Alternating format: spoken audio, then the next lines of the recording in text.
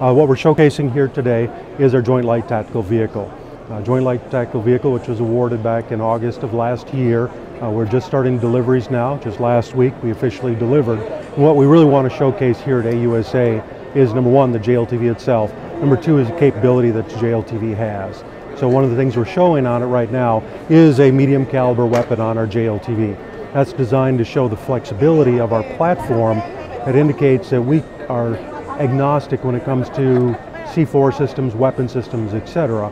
We're designing the vehicle for today's missions, today's requirements, but also room for growth for future mission requirements and future capacity. So that medium caliber weapon, which isn't necessarily a requirement at this time, just shows our flexibility and able to do that.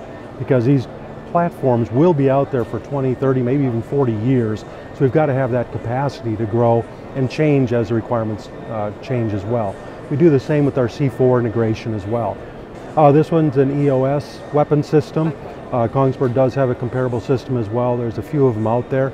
Uh, that's why we're showing that we're agnostic when it comes to the weapon system itself. Say last week we delivered our first vehicles, starting with you know some of the test vehicles. Uh, every month from now on, for uh, many many more months, we're going to be delivering vehicles to the U.S. Army, U.S. Marine Corps for testing and so forth over the next uh, probably the next year, I think year and a half, they're going to be doing a test program before a full rate production decision here in the first quarter of 2019.